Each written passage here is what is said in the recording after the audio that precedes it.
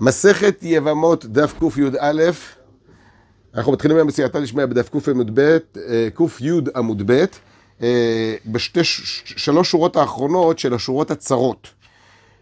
ראינו במשנה קטנה וחירשת. כדי להבין מה ראינו במשנה הזאתי, אז אנחנו דיברנו לגבי שבן אדם היה נשוי לשתי יתומות קטנות. עכשיו, אם הוא היה נשוי לשתי יתומות קטנות, אז הוא חולץ או מייבם אחד מהם, השנייה נפטרת. כמו שבן אדם היה נשוי לשתי נשים גדולות, מדאורייתא, אז אם הוא חלץ או ייבם לאחד מהם, אז השנייה נפטרת. אותו דבר גם כן כאן, חלץ באחד נפטרת מדי רבנן, כמו שאומרים. אבל מה הדין אם הוא היה אה, נשוי לקטנה ולחירשת? אז המשנה אומרת שאין ביאת אחד מהם פותר את צרתה. זאת אומרת ככה, מכיוון שאנחנו, אנחנו אומרים שהם... זה מכיוון שהקניינים שלהם לא שווים. ולמה הקניינים שלהם לא שווים? עכשיו אנחנו נראה את זה בגמרא. אומרת הגמרא, קטנה וחירשת. אמר רב נחמן אשכחתי לרב עדה בר אהבה ולרב חנה, חתנה, דיאבי וקמה קבוע קבעתה בשוגה דמומידיתא. אומר רב נחמן, אני ראיתי את רב עדה בר אהבה ורב חנה חתנו, שישבו בקמה קבוע, מסביר על זה רש"י שתי פירושים, או שמקילים תלמידים. שבאים לשמוע את השיעורים, או שהם היו אה, משיבים על כל הקושיות. אמרו, מי, למי יש שאלות, אנחנו נטפל בנושא הזה הכל. איפה? בשוק של פומדיתא. מעניין בשוק מה היו עושים? לומדים תורה. ואמרי, הדתנן קטנה וחירשת דין ביאת אחד מהם פותר את צרתה, אני מינא דנפלה לה מאחי פיקח. דדא לי בקטנה ניחלה, היא בחירשת ניחלה. זאת אומרת ככה, אנחנו אומרים, דווקא מתי אנחנו אומרים שלגבי קטנה וחירשת? שאנחנו לא יודעים מי אשתו יותר חזקה ומי אשתו פחות חזקה, ומכיוון שככה, יכול להיות שהקטנה הוא מעדיף, יכול להיות שאתה חירש אותו מעדיף, ומכיוון שככה, אז יכול להיות, אז חליצה של אחד מהם יכול להיות זה חליצה חלשה יותר, יכול להיות שהאישה השנייה היא חזקה יותר. והגמרא מסבירה, היא בקטנה ניחא דעיתי לכלל דעה, יכול להיות שנוח לפיקח לקחת אישה קטנה, מכיוון שכרגע אתה לא יכול לחיות אותה בתור אישה, אבל היא תגדל ותהיה אישה נורמלית, שתוכל לדבר עם הילדים, עם השכנים וכן על זה הדרך. היא בחירשת מיכלת גדולה, היא בת ביאי, אולי חירשת שכבר גדולה ובת ביאה והוא יכול לנהל את החיי נישואין. אבל נפלה מאחיו חירש, ודאי בחירשת ניחלה, דבת ביאי ובת מיניה. אבל אם האח היה חירש, אז לכן הקידושים מלכתחילה היו קידושים הרבה יותר חזקים לחירשת, כמובן מדי רבנן, לחירשת, למה? כי היא גם כן בת מינו וגם כן בת ביאה. ולכן כל הספק של המשנה שלנו, שאנחנו, שכל מה שהמשנה שלנו אומרת, שאין אחד פותר את הצהרתה, זה דווקא לגבי פיקח, שאנחנו לא יודעים מה הוא מעדיף, או את הקטנה או את החירשת. ואמין אליה, אומרת הגמרא אלוהו, ואמרתי להם, אנא, אמרתי להם אני, אפילו נפלה לי מאחיו חירש, למה מספקל? הכוונה, גם אם נפלה לי מאחיו חירש, גם אני מסופק, כי יכול להיות שהחירש לא רק ירצה את החירשת, אלא ירצה גם כן, ירצה את, ה, את, ה, את הקטנה, למה? כי הקטנה סוף כל סוף יכולה לתפקד ויכולה גם כן לתקשר עם כולם, וגם היא תגדל, אז uh, היא תהיה אישה הרבה יותר ברמה, מה שנקרא. אומרת הגמרא, בסדר, אנחנו אמרנו לגבי קטנה וחירשת, שבן אדם נשא אותם ומת בלי בנים, ועכשיו הם נפלו לפני אחיו לייבום, אז אין להם תקנה, הביאה או חליצה של אחד מהם לא פותרת את השמיעה. אומרת הגמרא, אם כן, קץ התקנתן, מה אנחנו נעשה? אומרת הגמרא, אמר רב חיסדא אמר רב, עכשיו, סליחה, סליחה. כאן דילגתי על רש"י מאוד חשוב. רש"י אומר כאן, מה זה קץ התקנתן? אומר, כי בעצם, מה אתה יכול לעשות? אם אני רוצה לחלוץ לשניהם, אני לא יכול לחלוץ לשניהם, מכיוון שהחירשת בלעת חליצה, כי יש כאן חסרון בקריאה. מה תרצה שאני רוצה לייבם אחד מהם והשנייה תיפטר, גם זה בלתי אפשרי. מה אני אעשה? אני לא יכול ודאי שלייבם את הקטנה, כי החירשת לא יכולה לקבל חליצה, ואני לא יכול לייבם את החירשת, כי אחר כך הקטנה, שאני, ברגע שאני חולץ לה, אז יכול להיות שהיא ברמה יותר גבוהה, ואם היא ברמה יותר גבוהה, אז היא, וברמה יותר נמוכה, אז עדיין הקשר שלי איתה נשאר, ואז היבמה, החירשת היא אחות חלוצה, ואם היא אחות חלוצה, אז אני צריך גם להתפטר ממנה, איך אני, מה אני עושה? אומרת הגמרא, אומרת הגמרא, אמר רב חיסדא, אמר רב כונס את החירשת ומוציאה בגט וקטנה תמתין שתגדל ותחלוץ. אומר רב חיסדא, בשם רב, שכונס את החירשת, ואז מילא הוא מוציא אותה בגט, כי כחירשת אפשר לתת לה גט, שוטה לא יכולה לתת גט, כמו שנראה לקמן בדף קי"ב עמוד ב', ששוטה לא יכול לתת לה גט, אבל חירשת יכול לתת לה גט, אבל חליצה הוא לא יכול לקבל, ואז מילא היא, הקטנה גודלת, ולפני שהוא עושה חליצה לקטנה, אז הוא נותן, נותן גט לחירשת, ואז הוא חולץ לקטנה. עכשיו, מה הטעם של הדבר, כמו שאנחנו אמרנו? אז בהתחלה אנחנו ראינו מה שהבאנו את המקרה של רב נחמן מקודם, שהטעם שכל אחד ואחד מהם שונה, מכיוון שאנחנו לא, לא יודעים מה עוצמת הקידושין שהבעל הראשון נתן לקטנה ולחירשת, אולי מעדיף אותה, אולי מעדיף אותה, לא מי, יותר אשתו. כמו, דוגמה, אם יש לך פיקחת וקטנה, אז ודאי שביאתה או חלצתה של הפיקחת פותרת את הקטנה לגמרי. למה? מכיוון שהפיקחת זה קידושין דאורייתא, והקטנה זה קידושין דרבנן. אבל אם, יש, אבל אם בתל הקטנה, אז מכיוון שזה זה קידושים הרבה יותר קטנים, אז אתה לא יכול לפתור את הפיקחת, ואז אתה נתקע בזה שזה שתי צרות אחד ביחד עם השני, ואתה לא יכול לבנות שתי בתים, וכן על זה הדרך. אומרת הגמרא, אומר רב חיסדה, רגע, איך הוא כונס בכלל את החירשת? הרי היה לצאת בזה השנייה. מה אתה- מה הבעיה? יש לנו ספק, נכון? נכון. אתה לא יכול לקנוס את החירשת? אז דבר ראשון, תראה, דבר ראשון, אם הוא כנס את החירשת, אז אין לנו את הבעיה הזאת. אבל תחכה אולי ממש עשר שניות, למה לא יחלוץ לאנשים? בוא בוא, כי הוא לא יכול לחלוץ חירשת, כי יש לך חסון בקריאה, וכל לביאה, בעילה מעכב- אין בעילה מעכבת בו, אין הרואה לביאה, בעילה מעכבת בו, כמו שאנחנו למדנו את זה. אומרת הגמרא, עכשיו ככה, בא רב חיסדה ואומר על דברי רב. אני אקרא את דברי רב חיסדה ואני לא אסביר אותו, אלא אני אסביר משהו אחר לגמרי. אומרת הגמרא מה רב חיסדה, שמע אמינא, כסף הרב חירשת קנויה ומשוירת, קטנה קנויה ואינה קנויה. ונסביר. בא רב חיסדה ואומר לנו, שאנחנו שומעים מדברי רב, שמה שרבנן תיקנו את הקידושין הראשונים, זאת אומרת של, של האח שמת, שהחירשת היא קנויה ואינה קנויה, משוירת, הכוונה קנויה ב-50%. היא קנויה קניין קומפקטי. והקטנה קנויה ואינו קנויה, הכוונה היא, רבנן הכניסו אותה לסוג של ספק, שאם היא קנויה לגמרי, מדי רבנן כמובן, או לא קנויה בכלל. בא רב חיסדה ואומר, אני רוצה להגיד לכם שלפי שאיך שהאב אמר לנו את המשפט הזה, משהו את הפתרון שקודם כל יבוא על החירשת ואחר כך יחלוץ לקטנה, זאת אומרת ויגרש אותה ואחר כך לקטנה, סימן שהוא סובר שהקטנה, שהחירשת היא קנויה ב-50%, ולא קנויה, זאת אומרת מדי רבנן, והקטנה ספק קנויה, קניין גמור, ספק לא קנויה בכלל. לפני שנתחיל להסביר את דברי רב חיסדה בכלל מה הוא מתכוון, מה ההוכחה שלו מדברי רב, אנחנו צריכים להבין מאיפה הוא יודע ששתיהם זה לא אותו קניין? יכול להיות ששתיהם זה קנויה ולא קנייה, או ששתיהם זה יכול להיות קנויה, ספק קנויה לגמרי, ספק לא קנויה לגמרי.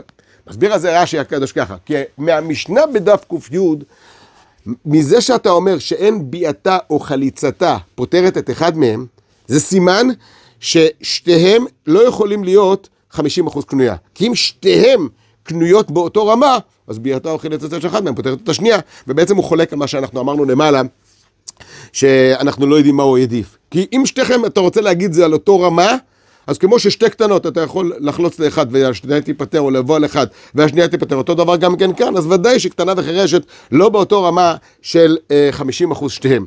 אולי תגיד לי ששתיהם יהיו באותו רמה, אבל ברמה ששתיהם הם, הם, אה, ספק מקודשות. מאה אחוז, ספק לא מקודשות בכלל, או גם, את זה אי אפשר לומר. למה?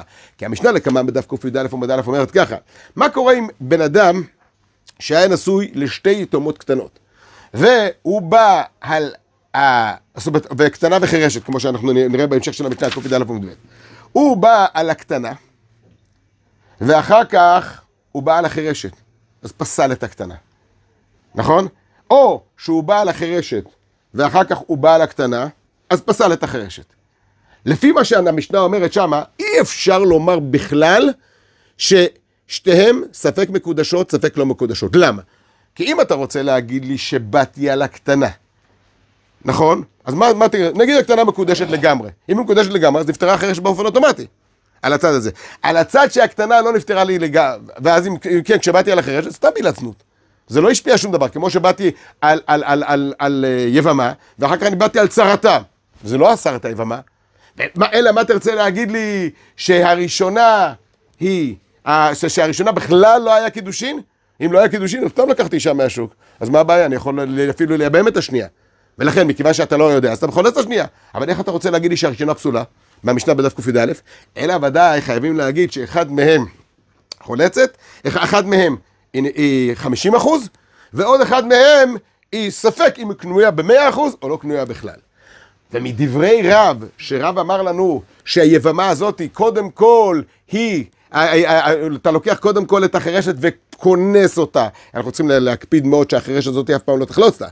כי אם תגיע למצב שהדבר היחידי שיוציא אותה זה חליצה, אז אתה תקוע איתה לגמרי לצמיתות, כי אין לה חליצה.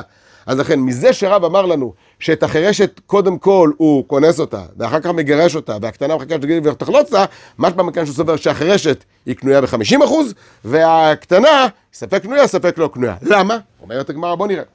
דאיסל כדעת חירשת קנויה ואינו קנויה, וקטנה קנויה ומשוערת. אם תרצה להגיד לי, בדיוק ההפך, שהקטנה ב-50% והחירשת, אה, ספק קנויה, ספק לא קנויה.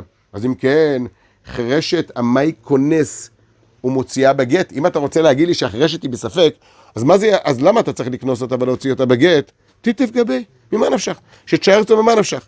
היא קנויה היא, אם נגיד שהוא קנויה היא, אומרת הגמרא קנויה, אז ממילא הקטנה כבר נפטרה, אז רק תן חליצה ליתר ביטחון על הצד הזה. והיא לאו קנויה, ואם תרצה להגיד לי שהיא לא קנויה היא, תנועה נחרית בעלמא, אז תשאר, תשאיר אותה לגמרי. אז ממה נפשך? אתה לא צריך לגרש אותה. ומכיוון שממה נפשך אתה לא צריך לגרש אותה, כי אתה יכול להשאיר אותה אצלך, סימן שאי אפשר להגיד שהחירשת היא קנויה ואינו קנויה. אבל עכשיו שאנחנו אמרנו שהחירשת היא ב-50%, אז במקרה כזה אנחנו מסופקים על לגבי הקטנה השנייה. אם הקטנה השנייה היא מקודשת 100%, אז הביאה הזאת לא עשה הרבה, כי הרי בעצם יש לו זיקה הרבה יותר חזקה אצל הקטנה, ואז זה נשאר מחובר, כי לא הצליחה להפקיע את זה, כי הזיקה שלה היא קטנה. ועל הצד שהקטנה בכלל לא נשואה בכלל, אז זה נחינם, היה יכול להשאיר אותה. אומרת הגמרא, אז מה אתה רוצה להגיד לי? רגע, רגע, אתה רוצה להגיד לי שמכיוון שהחירשת לא יכולה להיות ספק קנויה, אם, אם החירשת הייתה ספק קנויה, אז היה יכול להשאיר אותה ממה נפשך. שואלת הגמרא, וכי תאם הקטנה, מהי תמתינה שתגדיל? המאי, תמתינה שתגדיל ותחלוץ? תתפגע ב... היא קנויה היא, הקנויה היא, היא לא קנויה, נוכריתה בעלמא היא. הכוונה היא כזאתי. אז אם ככה, אז אחרי שכבר אתה אמרת לי שלא חירשת ספק קנויה, ספק לא קנויה, אלא מי ספק קנויה, ספק לא קנויה, הקטנה, אז את התרגיל הזה תעשה עם הקטנה. תיקח את הקטנה ותבוא עליה. עכשיו, ככה, אם הקטנה הזאת היא בעצם, היא קנויה 100%, אז היא קנויה 100%, אז נפטרת אפילו החירשת. ואם לא, לא קנויה 100%, אז אם לא קנויה בכלל, אז היא סתם זרה, אז מותר לי לבוא אליה, אין שום קשר בינה לבין החירשת. אז למה לא תשאיר את הקטנה אצלך? למה אתה רוצה להגיד לי שאין ביאתה אה, וחליצתה, אין, אין לו פתרון לגבי הקטנה? אומרת הגמרא, נכון, אם כן חירשת, במה היא תיפוק? אם במקרה כזה, מה תעשה? בסדר, אני אבוא על הקטנה, ואז מה יקרה? אז אני רוצה להגיד לך ככה, על הצד שהיא מקודשת לגמרי, אז היא פותרת את החירשת. אבל על הצד שהיא לא מקודשת לגמרי, אז החירשת לא נפתרה. אז בעצם ברעיון, יכלתי אפילו לייבם אותה, אבל מכיוון שאנחנו מסופקים אם מקודשת לא מקודשת, אם שהיה מקודשת, יכול להיות שהיא מקודשת, אני לא יכול לייבם אותה, מה אני צריך לעשות? לחלוץ אותה, אבל חרשת לאו בת חליצה היא, ומכיוון שככה אי אפשר לעשות את התקנה הזאת. עד כאן הכל מובן? אומרת הגמרא, אם כן חרשת, מה היא תיפוק? אומרת הגמרא, אמר רב ששת, הכי נמי מסתברא. כדקמתרץ רב חיסדא אליבא דרב. הכוונה היא כזאת, מסתבר מאוד מאוד מה שאמר רב חיסדא אליבא דרב שקטנה, שהיא חולצת, ש, סליחה, שהחירשת היא קנויה ב-50 אחוז, קנויה ולא קנייה, ואיך רש"י אומר חירשת קנויה מקצת ומשוירת, זאת אומרת, רש"י מדגיש את זה הרבה יותר לעומק. אומרת הגמרא שחירשת היא 50 אחוז, והקטנה, יכול להיות שהיא 100 אחוז נשואה, יכול להיות שבכלל לא נשואה. אומר, יש לי כאן ראייה מברייתא. אומרת הגמרא, נתניה, שני אחים נשואים שתי אחיות יתומות, קטנה וחירשת. יש לנו שתי אחים שעכשיו נשואים שתי אחיות יתומות, קטנה וחירשת. עכשיו בואו נבין, אם שתי אחים נשואים שתי אחיות פיקחות לגמרי, ברגע שמת אח אחד בלי ילדים, הוא לא יכול ללבם את האחות השנייה, היא יוצאת אפילו בלי, בלי חליצה, בלי ייבום, למה? כי היא בעצם ערווה, משנה הראשונה של המסכת, 15, 15 נשים פותרות צרותיהם וצרות צרותיהם, מצב כל העולם. אומרת הגמרא ככה, אז יש קטנה וחירשת. עכשיו, יש לנו שתי אחים, שני שתי אחיות, יתומות קטנה וחירשת. אחד קטנה ואחד חירשת. עכשיו, בואו נתחיל להסביר את זה. אליבא דרב חיסדא אמר רב, ונראה זה הולך על הכיפאק. ואם ננסה להסביר את זה למה אליבא דרב חיסדא אמר רב, אנחנו נראה שאי אפשר להסביר את הסוגיה הזאת בכלל. אומרת הגמרא, מת בעלה של קטנה. עכשיו, הבעל של הקטנה מת, חירשת יוצאה בגט, וקטנה תמתין עד שתגדל ותחלוץ. הכוונה היא כזאת. אם מת בעלה של קטנה, אז עכשיו, כמו שאמר רב חיסדא אמר רב, מה יש לה חירשת? 50 אחוז. מה יש לה קטנה? יכול, יכול להיות שיש לה 100 אחוז. עכשיו, אם לקטנה אין שום דבר, אז תצא לרחוב אפילו, אין בעיה, אנחנו לא יודעים את זה. אז על הצד של הקטנה יש 100 אחוז, אז מילא, אז החירשת היא קנויה לו מדי רבנן ב-50 אחוז, ויש לו כאן זיקה של 100 אחוז, אתה צריך להתפטר מהחירשת. אבל הקטנה כבר אתה לא יכול לייבם אותה. למה? כי על הצד של החירשת, שהקטנה והחירשת, לשתיהם יש לך זיקה כלפיך, זאת אומרת שלקטנה הרי יש 50 אחוז, ולחירשת יש 50 אחוז, ולקטנה יש ספק 100 אחוז, אבל סוף כל סוף היא הייתה אחות גרושתו, אחות אשתו. תוסיף איזה... מכיוון שאחות אשתו ואחות גרושתו, אז אם כן במקרה כזה, אז קטנה תמתין עד שגדל ותחלוץ. מת בעלה של חירשת. מה קרה אם מת בעלה של חירשת? אז עכשיו, קטנה יוצאת בגט. עכשיו, עכשיו ככה, ברגע שמת בעלה של חירשת, אז קטנה צריכה לצאת בגט. וחירשת, למה יוצאת בגט? מכיוון שעל הצד הזה שהחר... שהקטנה בכלל לא קנויה. ועכשיו נופלת לפניו אחותה, ואישה אל אחותה לא תקרא לצור לגלות רבתה עליה בחייה, ואחותה בעצם, יכול להיות שהיא קנויה ב-50% לפחות, אז אתה חייב להתפטר מהקטנה עכשיו. אומרת הגמרא, כי הקטנה בכלל יכול להיות שלא מגורשת בכלל. אני רק מסתכל על ה... מדגיש דווקא את הצדדים שגורמים לנו להוציא את החוצה. אז לכן קטנה יוצאת בגט. וחירשת, אסורה לעולם. הו, כאן החירשת אסורה לעולם. למה? לכ... אתה לא יכול לקנוס אותה. למה? שיכול להיות שהקטנה הייתה קנויה לך, אז היא אחות אשתך. איי! לחלוץ לה! אתה לא יכול לחלוץ לה. למה? מכיוון שאין אין חליצה ב- בחירשת. אבל אם הבן אדם הוא עבריין, הוא יכול לפתור לו את הבעיה. למה? אומרת הגמרא, ואם בעל החירשת, או אם הוא בעל החירשת, אז במקרה כזה, נותן לה גט והותרה. עכשיו הוא נותן לה גט והותרה. למה? דבר פשוט. מכיוון שאם הוא עכשיו בעל החירשת, אז תחליט. אם תרצה להגיד לי שהקטנה לא היה לו שום דבר איתה ביחד, אז מילא, בעל החירשת, ונתן לה גט, אז הכל בסדר. אז היא יוצאת החוצה, בעל החירשת, הוא בעצם ייבם אותה, ונתן לה גט, והכל בסדר. מה תרצה להגיד לי שהקטנה... כן, נותן גט לחירשת. אבל עדיין היא אסורה. למה? כי זה הגט מועיל רק לייבום מאמר, זה לא ייבום... אה, עוד פעם, זה, זה, זה אה, אחרי שהוא קידושין יודע- דרבנן וייבום דרבנן ו- ו- וגט דרבנן, כשם שהם כונסה ברמיזה, ככה יוצאת ברמיזה, אין לנו את הבעיה הזאת. אנחנו נכנסים כל הזמן ברף של רבנן. אומרת הגמרא, זה עכשיו, מה אתה עושה כאן? אז אנחנו אמרנו, עכשיו, אם בעל החירשת, נותן לה גט והותרה. אומרת הגמרא, דאמרת ממה נפשך, למה אתה אומר, אה, סליחה, ואם בעל החירשת, זאת אומרת, וכאן מדובר כמו שאנחנו אמרנו, שמדובר כאן, אה, שמת בעלה של חירשת, ועכשיו הוא, הוא גירש כבר את הקטנה כי יכול להיות שאחות אשתו זה בעיה, ועכשיו מת בעלה של, ועכשיו הוא בעל החירשת, נותן לה גט והותרה. אז הוא יכול לתת לו הגט והותרה. רש"י גורס, ואם עבר הוא בעל החירשת, הוא- כי בעצם אסור לעשות את דבר כזה, אז אחרי שגירש את הקטנה הוא נותן לה גט והותרה לשוק. למה? מה נפשך? אם תרצה להגיד לי קנויה, קטנה הייתה קנויה. אז אם כן, אז היא בכלל לא הייתה נכנסת לפה. היא בכלל לא, לא, אז מה שבאת עליה זה לא שום דבר, כי היא הייתה יכולה לצאת בלי גט, בלי שום דבר.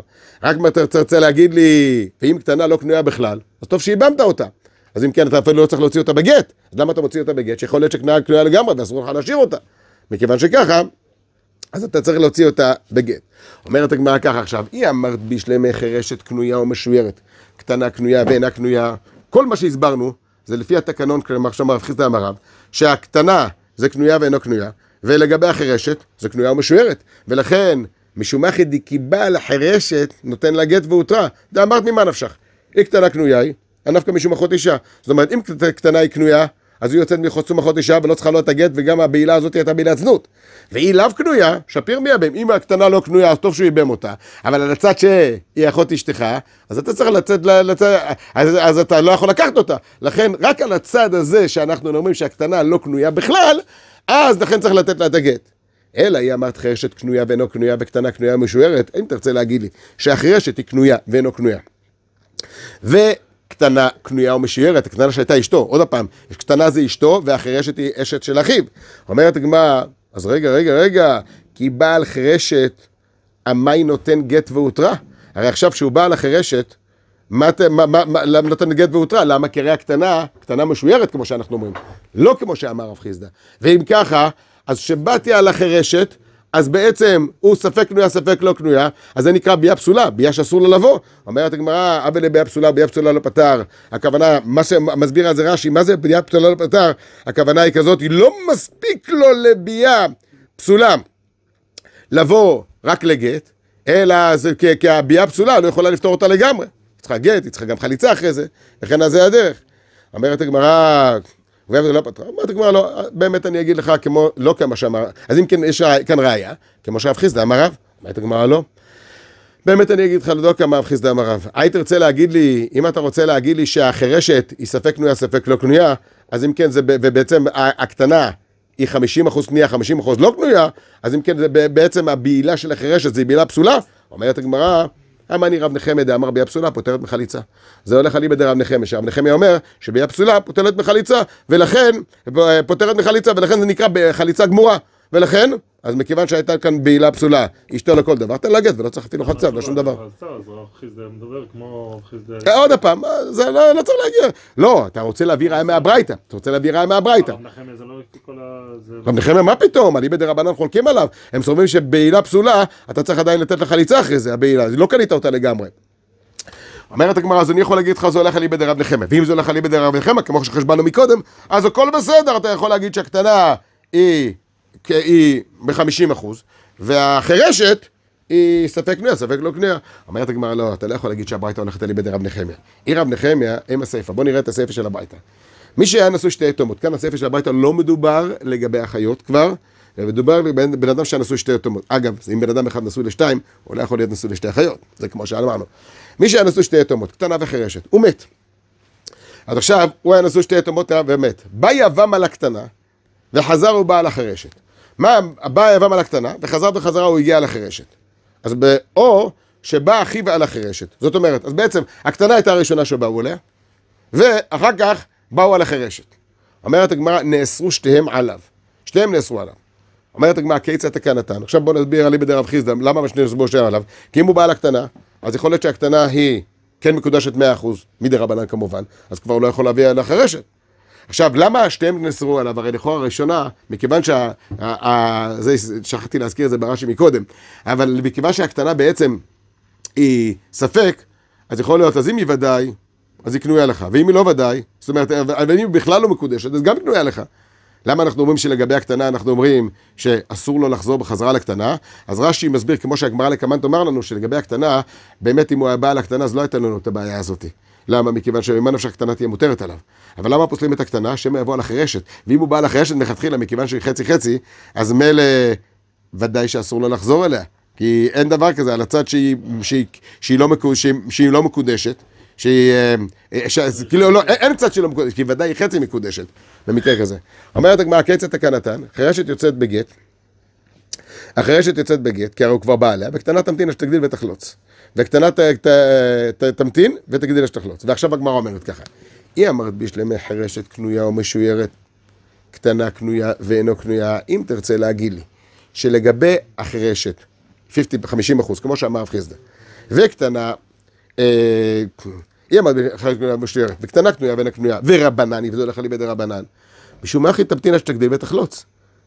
עכשיו, לכן אתה אומר לי שהקטנה גודלת וחולצת. למה?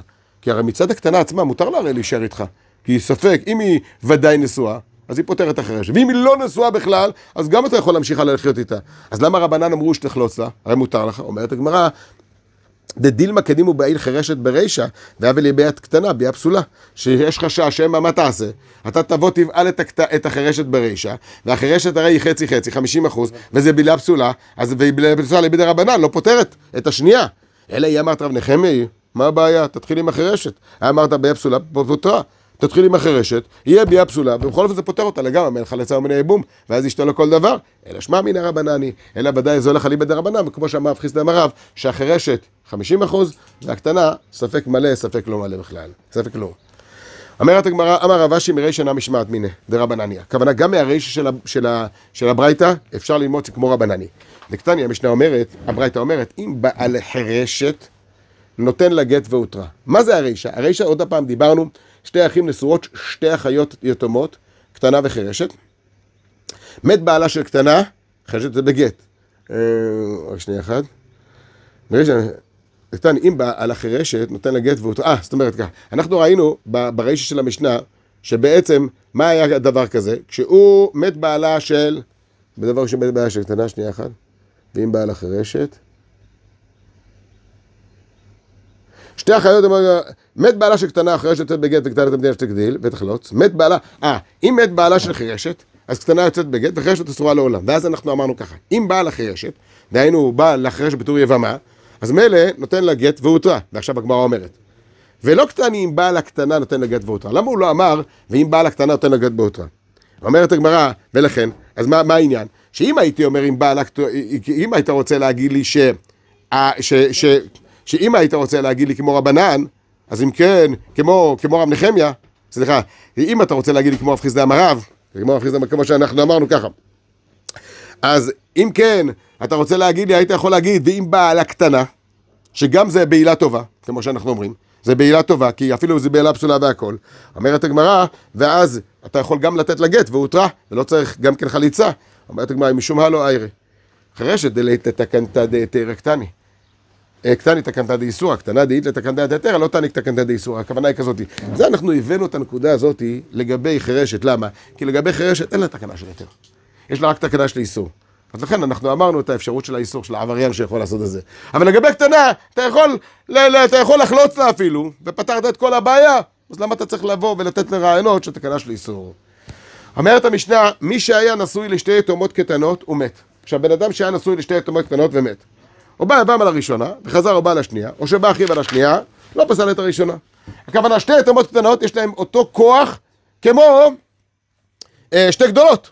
רק שתי גדולות זה מדאורייתא, אתה בא על אחד ונפטרת השנייה. עכשיו, מה קרה עם שתי יתומות גדולות? באת על אחד, פתרת את השנייה, ואם באת על השנייה, לא אסרת לעצמך את הראשונה, סתם בילת זנות. בילת זנות של כרת וכולי וכולי, אבל, אבל לא, מחלוקת אם זה כרת או זה לאו. מה? נכון, לא, לא, לא, אה, בסדר, בוא, מחלוקת רבי חבר שלוקיש, אם אחרי הבעילה גם כן כל השאר הצרות זה כרת, או זה, אה, זה נהפך להיות לאו. ואז נדבר על זה אחר כך. אז אומרת הגמרא ככה, אז אם כן, הוא בא לראשונה, אחר כך הוא בא לשנייה באיסור, אחר כך, והיא לא, פסל, לא, לא, לא פסלה את הראשונה. וכן שתי חרשות, אותו דבר גם לגבי שתי חרשות, כי בעצם זה אותו קניין. עכשיו, מה הדין לגבי קטנה וחירשת? אז עכשיו ככה, בא יבם על הקטנה, וחזר ובא על החירשת, או שבא אחיו על החירשת, או שבא פסל את הקטנה. כמו שאנחנו אמרנו, שאם בא יבם על הקטנה וחזר ובא על החירשת, אז בעצם כאן הוא כן יכול לקנות אותה. אבל משום גזירה שהם יבוא על החירשת קודם כל, נכון? אומרת הגמרא, בא יבם על החירשת וחזר ובא על הקטנה, או שבא אחיו על הקטנה, אז בזה פסל את החירשת, כי זה ודאי פסל את החירשת. למה? כי בזה, בבעילה הזאת שפסל את החירשת, למה? כי היא, החירשת היא 50 אחוז, והקטנה יכול להיות 100 אחוז, אז בזה פסל את החירשת. ואין לה תקנה בדבר הזה. אומרת הגמרא, פיקחת וחירשת. מה קורה אם האח מת ויש לו שתי נשים, פיק... אחת פיקחת וחירשת? בא יבם על הפיקחת, חוזר ובא לחירשת, או שבא אחיו על החירשת ולא פסל את הפיקחת. הכוונה היא כזאת, אם הוא בא לפיקחת, הוא כבר איבם אותה ל-100%, אפילו מדאורייתא, אז מה שהוא בא לחירשת זה שום דבר. זה שום דבר, זה רק בעילת זנות, ולכן לא פסל את הראשונה. אומרת הגמרא, בא יבם על החירשת, וחזר הוא בא על הפיקחת. אם בא יבם על החירשת, וחזר ובא על הפיקחת, עכשיו הוא בא לחירשת בעצם, אז הוא ייבם אותה כאילו מדי רבנן, אבל יש לו גם כן אישה הרבה יותר חזקה, כי היא פיקחת. אומרת הגמרא, או שבא אחיו אל הפיקחת, פסל את החרשת. הוא פסל את החרשת, כי כשהוא בא לפיקחת, אז הוא בא על אישה עם חיבור הרבה יותר גדול, חיבור מדאורייתא. אומרת הגמרא, גדולה וקטנה, אותו עיקרון, בא יבם על הגדולה, חזר בא לקטנה, או שבא אחיו אל הקטנה, לא פסל את הגדולה. אותו דבר כמו שראינו לגבי הפיקחת. בא יבם על הקטנה, וחזר או בא על הגדולה. או, עכשיו בוא נראה. מה קורה אם הוא בא על הקטנה, ואחר כך חזר או בא על הגדולה, או שבא אחיו על הגדולה, פסל את הקטנה. למה? פשוט. כי אם באתי על הקטנה, אז קיבלתי אותה מדי רבנן. עכשיו אני בא על הגדולה, קיבלתי אותה מדאורייתא, פסלתי כבר את הקטנה. אומר רב לזר אומר, מלמדים את הקטנה שתמאן. ואת רב לזר הזה ראינו גם בדף קט עמוד א', שהוא סובר שמלמדים את הקטנה שתמאן, ואז אלה הקידושים נעקרים למפרע, והבעילה הזאת סתם הייתה בעילת זנות, ועכשיו יש לו רק אישה אחת, איזה? הגדולה. יכול, יכול לבוא עליה ואין בעיה. אומרת הגמרא, אמר רבי יהודה משמואל הלכה כרבי אלעזר. הכוונה היא כזאת, כאן רבי אלעזר אומר שמלמדים את הקטנה שתמאן. אז בא רבי יהודה משמואל שהלכה כמו רבי אלעזר. אומרת הגמרא, וכן, וכן אמר רבי אלעזר, וזה רבי אלעזר בן פדת, מי זה רבי אלעזר הזה? רק שנייה אחת. זה רבי אלעזר בן פדת שהוא היה מורה, הלכה כרבי אלעזר, כרבי אלעזר בן שמוע. אומר רבי אלעזר, אומרת הגמרא וצריכה. מה הכוונה וצריכה? כאן אמרנו, הלכה כמו רב לזר, שבמקרה כזה, כשהוא בא על הגדולה, ואחר כך הוא בא על הקטנה, אז אנחנו, לא, הוא בא על הקטנה ואחר כך בא על הגדולה, אז, אז עכשיו הוא תקוע כי הוא התחיל עם הקטנה. הוא תוקע עם הקטנה, אז מה עושים? אז הוא אסור לשתיהם, מה, מה פתאום? מלמדים אותו שהקטנה תמאן, יעקור את הנישואים למפרע, ואז מילא נשאר לו רק את הקידושים של הקטנה. זה הלכה כמו רב לזר בשבוע. בדף קט עמוד א' אנחנו ראינו עוד דבר אחד. בן, בן אדם לגבי, שבן אדם היה נשוי בגדולה וקטנה, נכון? שם מדובר לגבי שתי אחים נשואים שתי אחיות. שתי, שתי אחיות. אחד גדולה ואחד קטנה. אז מה אתה עושה? אליבא דרבלזר, אז אנחנו, אליבא דרבלזר אומר, מלמדים את הקטנה שתמאן בו. ואז מילא, נפלה לפניי גדולה וקטנה, והם בעצם שתי אחיות, אה, אה, שתי אחים נשואים שתי, שתי אחיות, ועכשיו, אחד גדולה ואחד קטנה, אז מה אנחנו עושים? זאת אומרת שנופלת לפניי הגדולה ועכשיו יש כאן את הקטנה, או בדיוק להפך, מלמדים את הקטנה שתמאן, אומר רב אליעזר שתמאן, אבל חלקו עליו רב אליעזר מכיוון שאנחנו משתדלים לא לעשות מיעון, ולכן יש לנו שלוש שיטות בדף קט עמוד א', וגם שם שמואל אמר שהלכה כמו רב אליעזר, אומרת הגמרא, אז כאן אומרת הגמרא, אמר רבי דמר שמואל הלכה כרבי אלעזר פה, וכן אמר רבי אלעזר הלכה כרבי אלעזר פה, ושם אנחנו ראינו שאמר רבי דמר שמואל הלכה כמו רבי אליעזר, שהם מלמדים את הקטנה שתמאן, אומרת הגמרא, וצריך צריכים את שתי המקומות האלה, ששמואל יגיד ורב, ורב בן בדד להגיד שגם בדף קט עמוד א' הלכה כמו רבי אליעזר, וגם כאן הלכה כמו רבי אלעזר. אומרת הגמרא, דאית מר באח קמאית, האם אנו אומרים במקרה הראשון, אומרת הגמרא, כמה, באח, אה, היינו אומרים ככה, באח כאמר שמואל הלכה כרב אליעזר משום דלא קיים מצוות יבום. הרי בזה אנחנו רוצים להגיד שההלכה כמו רב אליעזר, כי הרי תגיד לה שתמאן, אף על פי שאסור להגיד לקטנה שתמאן שמא תתחרט. אומרת הגמרא, מכיוון ששמה, בלי זה אתה לא יכול לקיים מצוות יבום.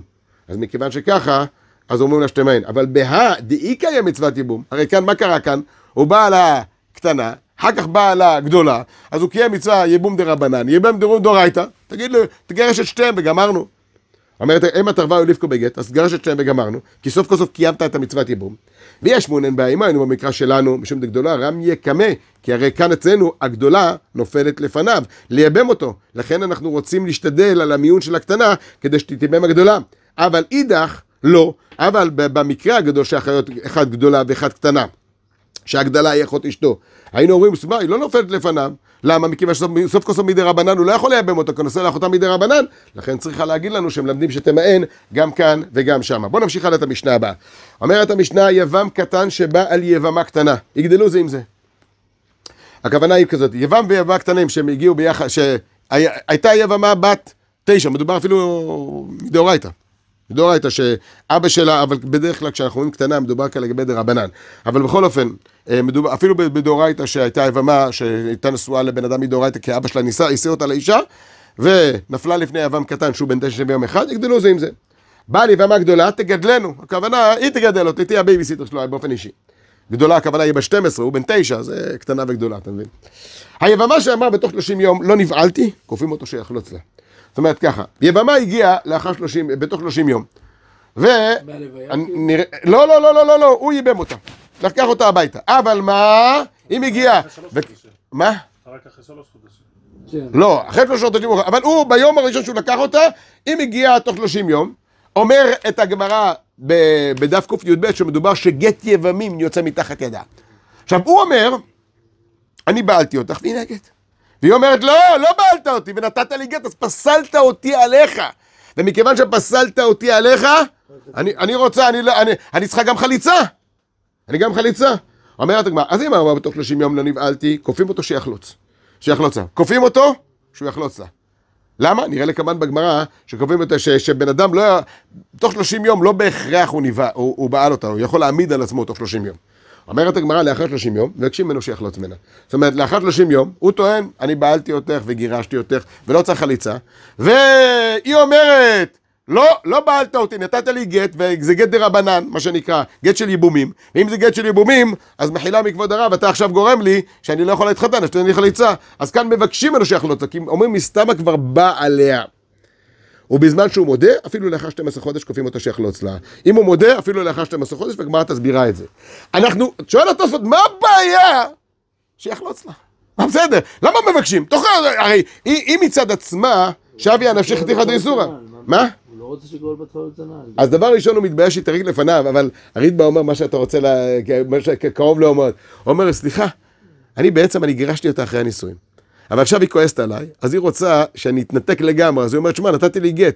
ברגע שנתתי לי גט זה תהליך ראשוני של חליצה, כי לפני הבעילה. ואז מילא, אם אני חולץ לה, אני לא יכול להחזיר אותה, כי יש אותך. אומר, אני רוצה עוד להחזיר אותה. אני עוד תפייס אותה, ואז אתם תראו שהכל בסדר. מהבחינה הזאת, כי אחרי שהוא נשא אותה, ייבם אותה וגירש אותה, הוא יכול להחזיר אותה. היא כמו גרושה רגילה. אבל כאן, אם היא רוצה עכשיו ממני חליצה, אני לא יכול לקבל אותה בחזרה. עכשיו היא כועסת עליי, אבל עוד שבוע, שבועיים, אני ארגיע אותה. סוף כל סוף. אומרת המשנה, נודרת הנאה מיבמה בחיי בעלה. הכוונה היא כזאת, היא התעצבנה על היבם שלה, על, על גיסה. היא לא ידעה שבעלה עומד למות בפשטות, ככה משמע, נראה בדף ק"ב את הסיפור. היא התעצבנה עליו שהוא לא, לא הביא לה את הכלל מהקולות. היא אומרת, אני מודרת הנאה ממך. וכמה שבועות אחרי זה, בעלה מת. היא אומרת, אופס, אני לא יכולה שתייבם אותי, כי אני מדירה. אני מדורה הנחה ממך. אומרת הגמרא, כופים אותו שיחלוצה. כופים אותו שיחלוצה. למה? מכיוון שלא התכוונה כדי למנוע ממצוות ייבום. אומרת הגמרא לאחר מיתת בעלה. מה הדין אם לאחר מיתת בעלה היא אומרת לאהבם שלה, אני מדירה את עצמי ממך. אה, אז את רוצה להינצל מהייבום? אין בעיה. מבקשים ממנו שיחלוץ לה. עכשיו, מבקשים, למה? כי כאן מה היא רצתה? להיפטר ממצוות ייבום. אבל אם נתכוונה לכך, אפילו בחיי בעלה, מבקשים ממנו שיחלוץ לה. הכוונה היא, אם היא בחיי בעלה, ראתה שבעלה עומד למות, ואומרת, רבאק, אני לא רוצה להתייבם אצלו, אבל הוא רוצה לקחת אותי, אז היא מדירה הנאה ממנו. מדירה הנאה ממנו, והוא לא יכול, לא יכול לייבם לה כי הוא עדיין לא בעלה. וכשהוא כבר, והוא אין הבעל מפר בקודמים, אז במקרה כזה אומרים לו, תשמע, אי אפשר להכריח אותו לייבם, כי את עשית את כל הפשלה הזאת, מה שנקרא, אפשר לבקש ממנו שייבם. אומרת הגמרא, למה מתתין דלא כרב מאיר? נאמר שמשנתנו דלא כרב מאיר. נתניה הברייתא אומרת, קטן וקטנה לא חוצים ולא מייבים, דיבר רב מאיר. כאן מדובר לגבי קטן וקטנה, הכוונה היא כזאת, אם יש לנו קטן וקטנה, או, או קטן או קטנה דרך אגב, אבל נקרא לזה קטן וקטנה, אז אי אפשר לעשות לא חליצה ולא יבום. למה? כי קטן יכול להיות סריס. ומכיוון שהוא יכול להיות סריס, אז, אה, אז אה, הוא לא יכול להביא זרע. אותו דבר, הקטנה יכולה להיות עילונית. אז במקרה כזה אנחנו לא חוצים ולא מייבים. אומרת הגמרא, ולא מייבים דיבר רב מאיר. אומרת הגמרא, אז אם כן אצלנו אתה רואה לי מכאן שיבם קטנה שבאה ליבם קטנה, יגדלו זה עם זה? אז אתה רואה, שאתה רואה כאן שיכולים כן להתייבם, ואתה לא חושש שמא אם הקטן סריס או הקטנה היא לא סריסה, היא עילונית, אז יכול להיות שהם בעצם, זה אשת אח שלו במקום מצווה. אשת אח שלו במקום מצווה זה כביכול כרת. אומרת הגמרא, אפילו יותר מרב מאיר, אני יכול להגיד שהיא משתתפת כמו רב מאיר. כי אמר רב מאיר גדולה לקטן וקטנה לגדול דחד מן הביאה דאיסורא הוא. הכוונה אומר רב מאיר, אם יש היבמה קטנה והיבם גדול, או היבמה גדולה, וה... זאת אומרת, והיבם גדול, או שהיבם קטן והיבמה גדולה. במקרה כזה, יש אחד גדול שבועל בעילת איסור. אומרת הגמרא, במקרה כזה אמר תפריש אותם. אבל קטן הבעל הקטנה תתבע כעדה דינינו? לא. לא אמר. אבל אם שתיהם קטן וקטנה, אז אין בעיה. למה? כי קטן אוכל נבלות, אין בית דין מצווים עליו להפרישו. שואלת הגמרא, בעיה קטן היא באה ליבמה גדולה תגדלנו. הרי אנחנו רואים בפירוש שאם הוא בא ליבמה קטנה תגדלנו, אז אתה רואה לי מכאן שאפילו בגדולה וקטנה, ובגדולה וקטנה אתה אומר לי שרב מאיר סובר שוודאי שזה אסור, כי הגדולה עושה את הבעילת איסור. אמר רב חנינא, חוזה בא שני. לא, זאת אומרת, אם הוא כבר בא עליה, אז רב מאיר מסכים. אבל לכתחילה שלא יעשו את זה. אומרת הגמרא, מה? והיה תגדלנו כאמר, דכל ביאה ביד איסורא הוא. מה כתוב? מה זה תגדלנו? הכוונה תמשיך לחיות איתו. על כל בעילה ובעילה זה של איסורא. אלא מחברת מתיתין דלא כרב מאיר. אלא מסתבר לנו סופית שמשנתנו דלא כרבי מאיר. שואלת הגמרא, עכשיו רגע, איך אתה רוצה להגיד לי לגבי... טוב, נעצור כאן ברשותך, קארי כאן, זה סתם, זה לא נוגע לסוגיה הקודמת, זה נראה כאילו זה נוגע, אבל לא נוגע. נתחיל אה, בשיעור הבא, מי קארי כאן. ברוך ה' לעולם, אמן ואמן, בואו נראה את ההנחה. כאשר שתי ראשי חוטים נקראו לגמרי, והם בצד אחד של הקשר הציצית, הציצית קשרה לכל הדוד, משום שבאופן זה שתי חוטים נשארו שלמים לגמרי, והשניים האחרים שנקראו בצד זה של הקשר, נשאר בהם כדי עניבה בצד השני של הקשר. הכוונה היא כזאת, בעצם אנחנו יודעים, אנחנו יודעים שיש לנו שמונה חוטים, נכון? ארבע לכאן וארבע לכאן. בדרך כלל, מה אנחנו עושים? אנחנו קושרים את הארבע האלה, ואז מילא תמיד אלה זה צד אחד ואלה תמיד צד שני, ולכן אם נחתכו כאן החוטים, אז תמיד יש לך את החלק השני של החוטים. אכן, אם לא דקדק בשעת עשיית הציצית לתת סימן שישארו תמיד אותם ארבעה ראשים בצד אחד של הקשר, אם נקראו שתי ראשים ולא נשאר בהם כדי עניבה אפילו שהם בצד אחד של הקשר, הציצית פסולה לכל הדעות, לפי שיש לחוש שהם שני ראשים של חוט אחד ולא נשאר בו כדי עניבה. כאשר שתי ראשי החוטים שנקראו הם משני צידי הקשר, אחד מצד זה של הקשר ואחד מצדו השני, לכל הדעות הציצית פסולה. כיוון שיש לחוש שהם שני ראשים של חוט אחד, ובאותו החוט לא נשאר שיעור כדי עליבה, כמו שאנחנו אומרים, אם שתי ראשי החוטים נקראו, אחד מצד אחד ואחד מצד שני, אז במקרה כזה יכול להיות שזה אותו חוט שממשיך, ואז מילא, חוט אחד חסר לך. כאשר נפסק ראש חוט אחד בלבד, אצלי כשרה לכל הדעות, שהחוט הזה נפסק בראשו, האחד נשאר בשיעור בראשו השני, גם שאר החוטים נותרו שלמים, אז הכל בסדר, ברוך ה' לעולם, אמן ואמן.